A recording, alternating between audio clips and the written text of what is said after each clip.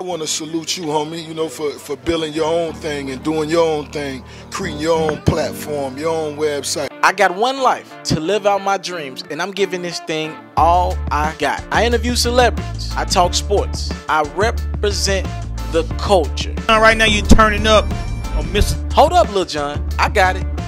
You now turned up with MrTaliaferro.com, baby. Yeah.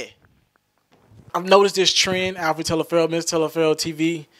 Um, I've noticed this trend and I want to comment on it. Listen, I have no problem. I guess you can consider me part of the media industry. I don't consider that. I just try to do dope stuff for people. I try to do dope interviews and put them in the atmosphere. When you talk Charlamagne the God, and I have no problems bigging up him because he's somebody that I salute his hustle and his grind. You want to know something about Charlamagne the God? And honestly, this was said. I was I was watching a Brilliant Idiots podcast about a month and a half ago. Him and Andrew Schulz, his co-host, was talking. And Andrew told him something that was so real. He was like, You want to know why people get upset with you? Because your opinion can't be bought. And they get upset about that because they want your opinion to be bought. People want you to, you know, side with them. And one thing about Charlamagne is he going to try to keep it as real as possible. His opinion can't be bought by any artist. Even though he might be cool with you, he might rock with you, he might think your tape is dope. But if you do something stupid, you a donkey, and he will call you out on that. This Beanie Sigel interview is nothing short of that. You remember Charlamagne worked in Philadelphia radio for, for quite some time.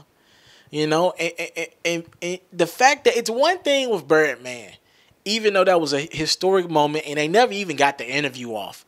Even though Charlamagne kept it all the way 100 and a few, the two minutes that the interview did run for, or before the interview or whatever. It's one thing to keep it real with Birdman. Charlamagne didn't have a relationship with Birdman. Charlamagne worked in the Philly area. He knows Beanie Sigel. The fact that he kept it real with him on camera got to be commended because I know a thousand radio personalities. I ain't going to say nobody's name to be exact, who was sugarcoated with Beanie, not keep it real with him, call him, not call him a hater. Charlamagne called him a hater to his face. He told Beanie, he told Birdman, why you ain't pull up on Trick Daddy or Ross like that? Period. Like I don't know anybody who keeps it realer than him in, in the music world and his radio stuff with more to lose. You would think with the whole iHeart connection, they'll have him trained to not talk like that. But he has so much to lose. His job is put on that platform. Their interviews do tens of thousands of views times what anybody else is doing in the game right now. With that being said, his his his his opinion can't be bought and that has made all the differences. That's why he's having so much success, and that's what I aspire to be.